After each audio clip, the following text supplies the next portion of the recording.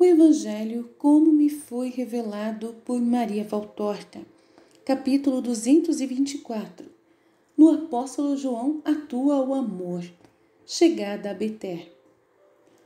Valtorta descreve a visão do dia 20 de julho de 1945. A comitiva apostólica passou por uma mudança em seu acompanhamento animal. Agora já não está mais o bode, e em lugar dele estão uma ovelha e dois cordeirinhos.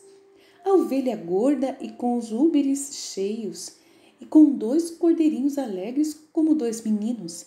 É um pequenino rebanho que, por ter um aspecto menos cabalístico do que o bode, que era muito preto, agrada, agrada agora mais a todos. Eu vos havia dito que viria uma, uma cabra para fazer de Margizão um pequeno pastor feliz. Mas em vez de cabra, já que de cabras não quereis saber, eis que vieram as ovelhas e são brancas, justamente como Pedro sonhava. Mas é certo, parecia-me estar trazendo comigo Beuzebu, aquele bode, diz Pedro.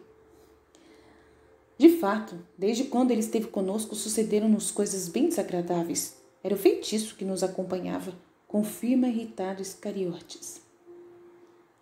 Era então um bom feitiço, porque o que foi que aconteceu mesmo de mal? Diz calmamente João. Todos se dirigem a ele como para censurá-lo por sua cegueira. Mas não viste em Modim como fomos escarnecidos? E a ti parece nada aquela queda que o meu irmão levou? Ele podia ter ficado arruinado, como poderíamos fazer para levá-lo para fora de lá se ele tivesse quebrado as pernas ou a espinha? E ontem de noite achaste bonito aquele interlúdio? Eu vi tudo, considerei tudo e bendisse ao Senhor, porque não nos aconteceu nada de mal. O mal veio em direção a nós, mas depois fugiu, como sempre. E certamente aquele encontro serviu para deixar sementes de bem, tanto em Modim como perto dos vinhateiros que ocorreram com a certeza de encontrar pelo menos um ferido e com o pesar de terem sido sem caridade, tanto assim que quiseram fazer uma reparação. O mesmo se diga perto dos ladrões de ontem à noite. Eles não fizeram nada de mal, e nós, isto é, Pedro, ganhou as ovelhas em troca do bode. E como presente por terem todos sido salvos, os pobres têm agora muito dinheiro pelas bolsas a nos dadas, pelos mercadores e pelas ofertas das mulheres. E todos, isto é, o que vale mais, todos receberam bem também as palavras de Jesus. É, João está com a razão, dizem Zelotes e Judas Tadeu. E este último ainda assim termina. Parece mesmo que cada coisa aconteça por um claro conhecimento do que parece, do que está para acontecer. Encontrarmos-nos justamente lá e com atraso por causa da minha queda, junto com aquelas mulheres cheias de joias, junto com aqueles pastores com rebanho gordo, junto àqueles mercadores carregados de dinheiro magníficas presas para os ladrões. Meu irmão, dize-me a verdade, sabias que tudo isso iria acontecer? Pergunta Tadeu a Jesus. Eu já vos disse muitas vezes que eu leio nos corações e que quando o Pai não dispõe de modo diferente, eu não deixo de saber o que deve acontecer. É, mas às vezes, porque fazes erros, como aquele de ir ao encontro dos fariseus hostis ou às cidades completamente hostis? Pergunta em Judas Iscariotes. Jesus olha fixamente para ele e depois lhe diz calmamente e devagar: Não são erros, são necessidades de minha missão. Do médico precisam os doentes e do mestre os ignorantes. Tanto estes como aqueles às vezes repelem o médico e o mestre. Mas este, se for um bom médico e um bom mestre, continua a ir a quem os repele, porque o dever dele é sempre ir, e eu vou. Querereis vós que onde eu me apresento caíssem todas as resistências. Eu até o poderia fazer, mas eu não violento ninguém. Eu convenço a coerção só é usada em casos muito excepcionais e só quando os espíritos iluminados por Deus chegam a compreender que ela pode servir para persuadir de que Deus existe e que ele é mais forte, ou então em caso de uma salvação coletiva. Então será como o caso de ontem à noite? pergunta Pedro. Ontem à noite, aqueles ladrões ficaram com medo, vendo que estávamos bem acordados para recebê-los, diz, com evidente desprezo Iscariotes. Não, eles ficaram persuadidos pelas palavras de Jesus, diz Tomé. Sim, assim te parece. São, na verdade, as almas ternas que se persuadem com duas palavras, ainda que sejam de Jesus. Eu sei daquela vez que fomos assaltados, eu com toda a minha família e muitos de Betsaida no desfiladeiro de Adonim. Pergunta, responde Filipe. Mestre, dize-me uma coisa. Desde ontem estou querendo te perguntar, mas afinal foram as tuas palavras ou a tua vontade que não deixaram acontecer nada? Pergunta Tiago de Zebedeu. Jesus sorri e se cala. Responde Mateus. Eu creio que tenha sido a sua vontade que superou a dureza daqueles corações e chegou a paralisá-los, a fim de poder falar e salvá-los. Eu também acho que é assim, é por isso que ele quis ficar lá sozinho olhando para o bosque. Ele os tinha subjugados pelo seu olhar, com sua confiança neles, e com sua calma, estando desarmado, ele não tinha nenhum pau, diz André. Está bem, tudo isso somos nós que dizemos, são ideias nossas, mas eu quero saber o que o mestre diz. Diz Pedro, diz Pedro. Começa então entre eles uma discussão calorosa que Jesus os deixa entabular. Entre os que dizem que, tendo Jesus declarado que não força ninguém, logo ele não terá usado de violência nem mesmo com aqueles ladrões. E quem diz isso é Bartolomeu, enquanto Iscariotes, apoiado ainda que levemente por Tomé, diz que ele não pode crer que o olhar de um homem possa fazer tudo aquilo. Mateus o rebate, dizendo: Pode tudo aquilo e mais ainda. Eu fui convertido pelo seu olhar, e antes mesmo do que por suas palavras. Os sim e os não entram em contraste, com violência, ficando cada qual obstinado em sua tese. João se cala como Jesus e fica sorrindo com a cabeça inclinada para esconder o sorriso. Pedro volta ao assalto porque nenhuma das razões dos companheiros o convence. Ele pensa e diz que o olhar de Jesus é diferente do que de qualquer outro homem e quer saber se é porque Jesus é o Messias ou se é porque ele é sempre Deus. Jesus então fala: Em verdade eu vos digo que não somente eu, mas quem quer que seja que esteja unido a Deus com uma santidade, uma pureza, uma fé sem rachaduras, poderá fazer o que eu fiz e muito mais ainda. O olhar de um menino, se o seu espírito estiver unido ao de Deus, pode fazer desabar os templos vãos, sem fazer uso da sacudida de sanção. Pode instilar a mansidão às feras e aos homens feras, pode repelir a morte e vencer as doenças do espírito, como a palavra de um menino unido ao Senhor e feito instrumento do Senhor. Pode também curar as doenças, tirar o veneno das serpentes e operar qualquer milagre, porque Deus opera nele. Ah, agora entendi, diz Pedro. E olha, olha, olha para João, e depois ele termina todo um raciocínio que tinha consigo, dizendo em voz alta: Eis tu, mestre, pudeste porque és Deus e porque és homem unido a Deus. E assim sucede com quem sabe chegar ou já conseguiu chegar a estar unido a Deus. Eu compreendi. Mas não perguntas a ti mesmo qual a chave desta união? Qual o segredo deste poder? Nem todos dentre os homens chegam a isso, e no entanto todos eles têm os mesmos requisitos para o conseguirem. É isto, mas onde está a chave então dessa força para unir-se a Deus e para dominar as coisas? Uma oração ou palavras secretas? Há pouco, Judas de Simão, acusava o bode de ser o culpado de todas as coisas más que nos aconteceram. Não há feitiços que dependam dos animais. Acabai com essas superstições que ainda são idolatrias e que podem causar desventuras. E visto que não há fórmulas para fazer feitiços, não há também palavras cabalísticas para operar milagres. O que existe é só o amor como eu disse ontem de tarde, o amor acalma os violentos e sacia os ávidos. O amor é Deus, com Deus em vós, plenamente possuído, pelo merecimento de um amor perfeito. O olho se transforma em fogo que queima todos os ídolos e derruba os simulacros, a palavra se torna poder, e ainda o olho torna-se arma que desarma. Não se resiste a Deus, ao amor, somente o demônio resiste, porque é o ódio perfeito, e com ele resistem também os seus filhos. Os outros, os débeis possuídos por alguma paixão, mas que não se venderam voluntariamente ao demônio, não resistem ao amor.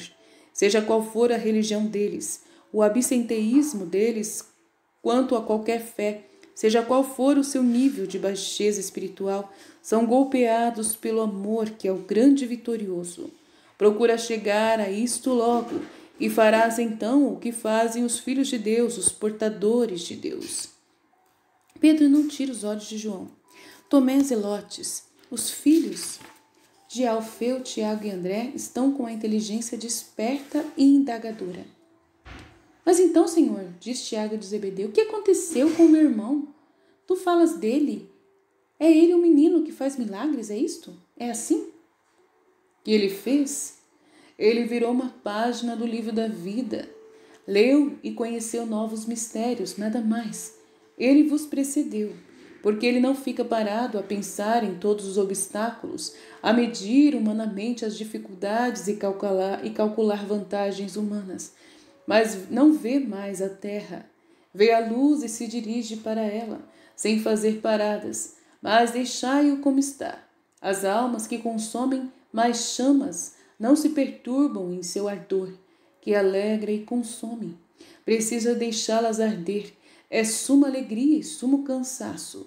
Deus lhes concede instantes de noite, porque sabe que o ardor mata as almas flores, como faz com as flores dos campos. Deixai sossegado o atleta do amor, quando Deus assim o deixa. Imitai os mestres de educação física que concedem aos seus alunos os necessários descansos. Quando tiverdes chegado, vós também, ao ponto em que ele já chegou, e até além, porque ireis além tantos vós como ele. Então compreendereis a necessidade do respeito, do silêncio da penumbra que experimentam aquelas almas, de que o amor fez suas presas e seus instrumentos. Não fiqueis agora pensando, então eu terei prazer em ser assim conhecido e João é um tolo, pois as almas do próximo, como a dos meninos, querem deixar-se seduzir pelo maravilhoso engano. Não, quando tiverdes chegado a esse ponto, tereis o mesmo desejo de silêncio e de penumbra que João tem agora. E quando eu não estiver mais no meio de vós, lembrai-vos de que quando precisar de julgar a respeito de uma conversão, ou de uma atitude de santidade, devereis usar como medida a humildade.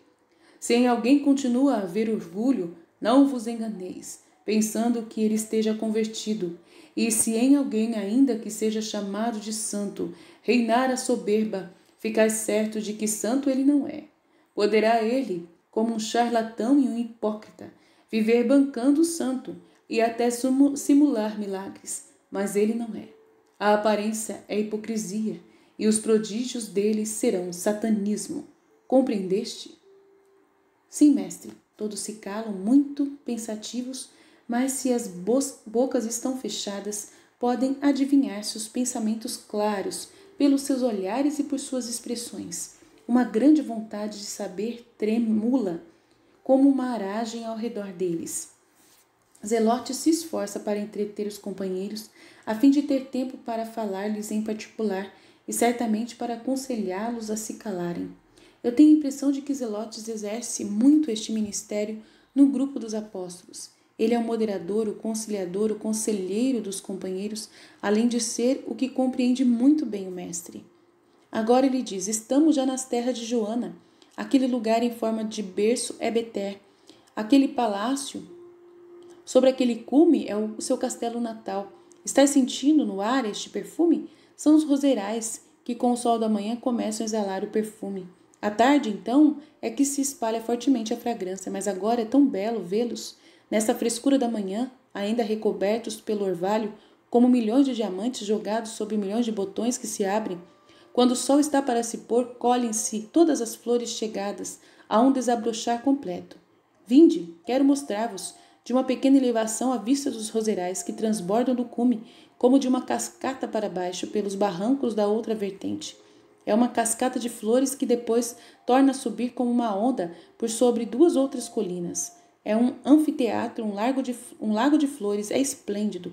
O caminho é mais íngreme, mas vale a pena ir por ele, porque daquela beira se domina todo este paraíso. E chegaremos logo também ao castelo. Lá Joana vive livre no meio de seus camponeses, a única guarda para tanta riqueza.